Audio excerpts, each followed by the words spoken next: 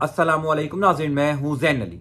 Nazi कराम आज नौ मार्च है और दिन है हफ़्ते का। देखिए, जुल्म की रात कितनी ही अंधेरी और तवील क्यों ना हो। अमन और अदल का सूरज तुलू होकर ही रहता है। जुल्म फिर जुल्म है, बढ़ता है तो मिट जाता है। मैं हमेशा पाकिस्तान तहरीक इंसाफ की कानूनी टीम को खराज तहसीन पेश करता हूँ, क्योंकि किसी सियासी जमात के वकला ने इतनी बहादुरी और दलेरी से अपनी जमात के केसेस नहीं लड़े होंगे जितनी बहादुरी और दलेरी से पाकिस्तान तहरीक इंसाफ के वकला ने पिछले दो सालों में तहरीक इंसाफ के केसेस लड़े। यानी पूरा अदालती माहौल तहरीक इंसाफ के खिलाफ था, पूरा अदालती निज़ाम तहरीक इंसाफ के खिलाफ था। उसके बावजूद तहरीक इंसाफ की कानूनी टीम इमरान खान के वकला हर छोटा छोटा केस अदालतों में लेकर गई। ये जो आज पूरी पाकिस्तानी कौम को धांधली और अदालतों के रवैये के हवाले से शूर आ चुका है, इसका क्रेडिट भी पाकिस्तान तहरीक इंसाफ के वकला को जाता है। आज नौ मार्च है।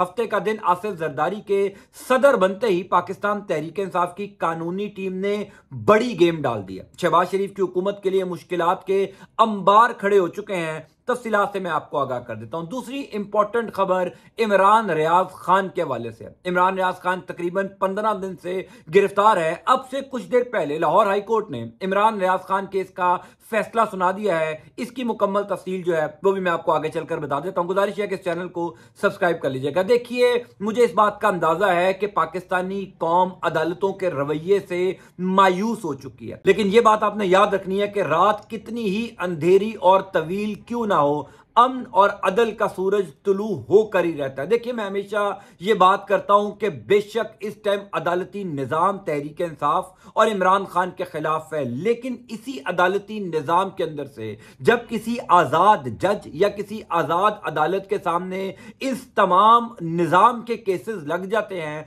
तो पूरी पाकिस्तानी कौम को कम अज कम ये पता चल जाता है कि उनके साथ कितना बड़ा जुल्म हो रहा है। किस तरीके से आइन और कानून की धजियाँ उड़ाई जा रही रही है अब से कुछ देर पहले आसिफ जरदारी सदर बने और सदर बनते ही पाकिस्तान तहरीक इंसाफ की कानूनी टीम ने उनके ऊपर कयामत बर्पा कर दी। इस खबर की मुकम्मल तफसील बताने से पहले मैं आज आपको कौमी असम्बली की एक तस्वीर दिखाना चाहता हूँ। आप पाकिस्तान के अदालती निज़ाम, आप पाकिस्तान की अदालतों का मैार चेक कर लीजिए। इस एक तस्वीर से आपको अंदाज़ा हो जाएगा कि मैं ये क्यों बात कर रहा हूँ कि पिछले दो सालों में पाकिस्तान तहरीक इंसाफ के वकला ने जिस तरीके से बहादुरी दलेरी से इमरान खान और तहरीक इंसाफ के केसेस लड़े हैं, वो वाकई खराज तहसीन पेश करने के लायक हैं। क्योंकि पूरा अदालती निज़ाम तहरीक इंसाफ के खिलाफ था। ये अब से कुछ देर पहले की तस्वीर है। ये चीफ जस्टिस आमिर फारूक साहब हैं, जो आज कौमी असम्बली में सदर के इंतखाब के लिए प्रिजाइडिंग ऑफिसर थे। नवाज़ शरीफ साहब उनसे हाथ मिलाते हैं। आप सिर्फ़ चीफ जस्टिस आमिर फारूक के चेहरे के तासुरात देखिए। किस तरीके से हसरत भरी निगाहों से वो नवाज़ शरीफ को देख रहे हैं। एक ऐसे शख्स को देख रहे हैं, जिस शख्स को चीफ जस्टिस आमिर फारूक साहब की ही अदालत छह साल तक बुलाती रही। छह साल तक नवाज़ शरीफ इस्लामाबाद हाई कोर्ट के मतलूब रहे, मफरूर रहे, इश्तेहारी रहे और जब वो वापस आए, उनको पूरा प्रोटोकॉल दिया गया, उनके लिए रेड कारपेट बिछाया गया, इस्लामाबाद हाई कोर्ट का अमला इस्लामाबाद की एयरपोर्ट पर गया।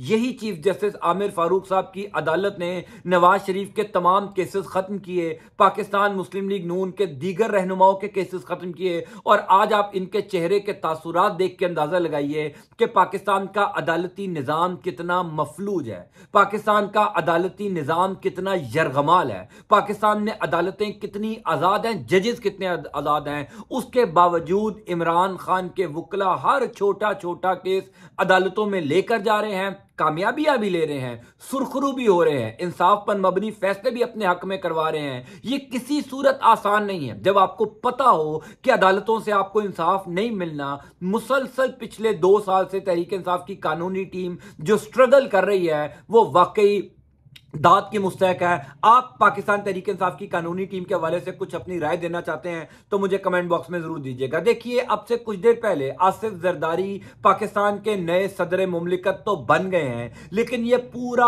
अमल गैर आईनी गैर कानूनी तरीके से हुआ। पिशावर हाई कोर्ट एक फैसला देता है कि जब तक मखसूस नशिस्तों का फैसला ना हो जाए, तब तक स्पीकर कौमी असम्बली अयाज सादिक जो हैं, वो मखसूस नशिस्तों पर आने वाले अरकान कौमी असम्बली का हल्फ ना उठाएँ। लेकिन कल स्पीकर कौमी असम्बली अयाज सादिक ने उन तमाम अरकान कौमी असम्बली का हल्फ ले लिया।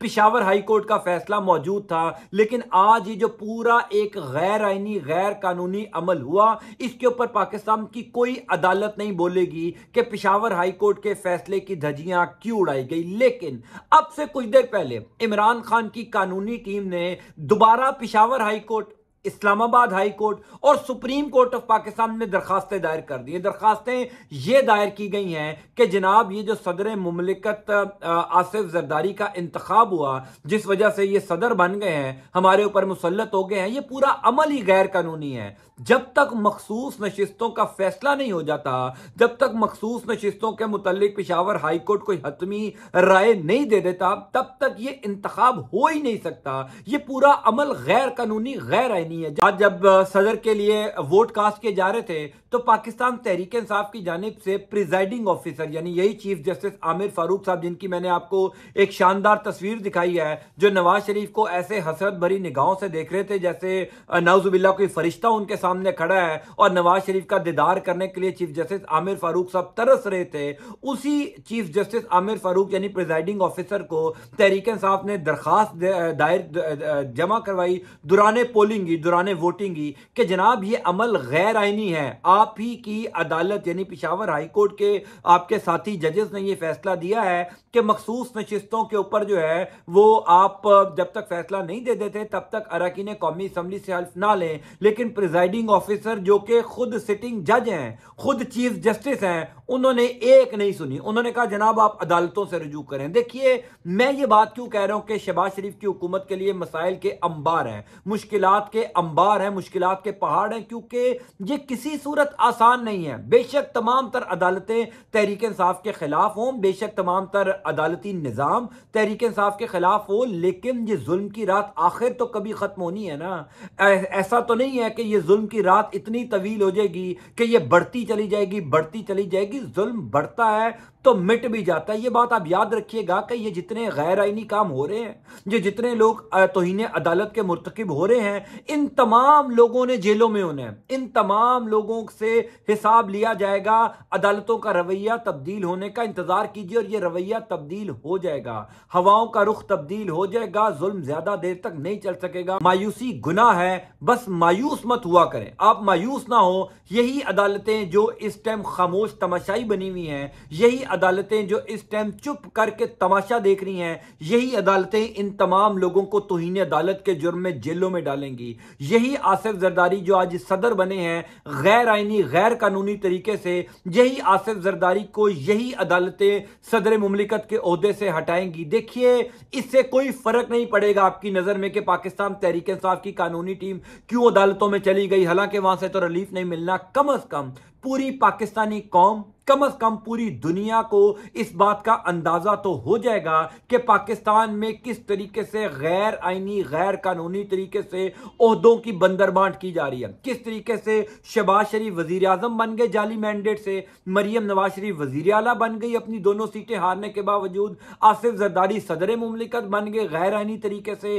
ये जो कुछ हो रहा है, ये ऐसे ही नहीं हो रहा। अदालतों में जाकर दरखास्तें दायर करना, पूरी कौम को हकायक बताना, ये बड़ा ज़बरदस्त काम है। आसिफ जरदारी के लिए मुश्किल खड़ी ज़रूर होंगी। आज नहीं, कल, दो महीने, चार महीने, ये मामला ऐसे नहीं चलेंगे। हमें पूरी उम्मीद रहना चाहिए। दूसरी इंपॉर्टेंट खबर इमरान रियाज खान के हवाले से है, बल्कि अच्छी खबर इमरान रियाज खान के हवाले से है। तकरीबन आज से चौदह दिन पहले, यानी पिछली से पिछली जुमेरात को, इमरान रियाज खान को महकमा एंटी करप्शन ने गिरफ़्तार किया था, क्योंकि इस केस के अंदर था ही कुछ नहीं, क्योंकि ये भोंडा केस था।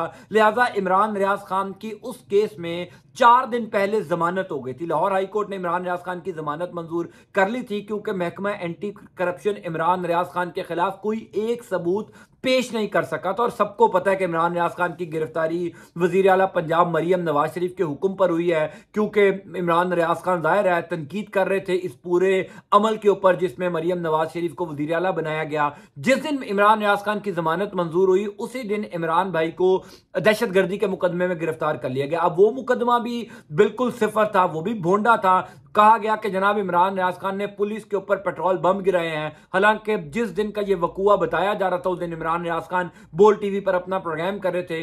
अब से कुछ देर पहले इमरान रियाज खान की जमानत लाहौर हाई कोर्ट ने भी मंजूर कर ली है। देखिए, ये तकरीबन पांचवी दफ़ा हुआ है कि इमरान रियाज खान को गिरफ़्तार किया गया और इमरान रियाज खान को एक लंबे अरसे के लिए जेल में रखने के बाद अदालतों ने रिहा कर दिया। लेकिन आखिर ये मामला कब तक चलेंगे?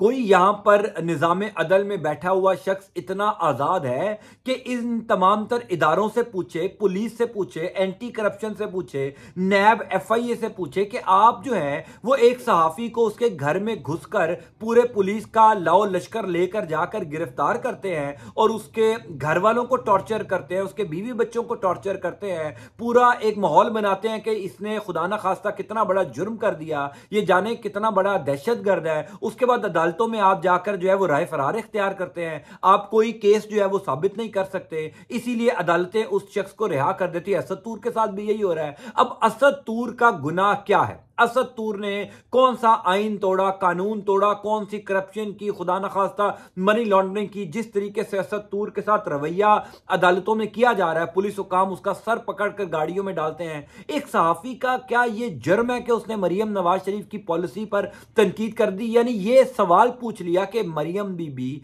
आप तो दोनों सीटें हारी हुई हैं, आप वज़ीर अला कैसे बन गई? ये सवाल पूछना इतना बड़ा जुर्म है तो यकीन जानिए ये चौबीस करोड़ अवाम मुजरिम है। क्योंकि इस टाइम पाकिस्तान का हर बच्चा बच्चा, हर शख्स ये सवाल पूछ रहा है कि अपनी सीटें हारने वाले आखिर वजारत आला पर कायम कैसे हो सकते हैं? वजारत उजमा पर फायज कैसे हो सकते हैं? सो लिहाजा इमरान रियाज खान के लिए अच्छी खबर आई है। अदालत ने इमरान रियाज खान को जमानत दे दी है। अब से कुछ देर बाद इमरान भाई रिहा हो जाएँगे। उनको सेंट्रल जेल लाहौर में रखा गया था। वो उनकी रिहाई हो जाएगी, वो अपने घर आ जाएँगे। लेकिन मुझे इस बात का यकीन है कि मरियम नवाज़ शरीफ की हुकूमत जब तक रहेगी, सहाफ़ियों के लिए किसी सूरत आसानी नहीं होगी। इमरान रियाज खान को दोबारा गिरफ़्तार करने की कोशिश होगी। दोबारा मुश्किल आएँगी, दोबारा सख्ती आएँगी। अल्लाह ताला हम सबका हामी नासिर है। अल्लाह ताला आप पर, आपके अहल खाना पर रहम फरमाए। अल्लाह ताला पाकिस्तान पर रहम फरमाए। अंटिल नेक्स्ट टाइम अल्लाह हाफिज।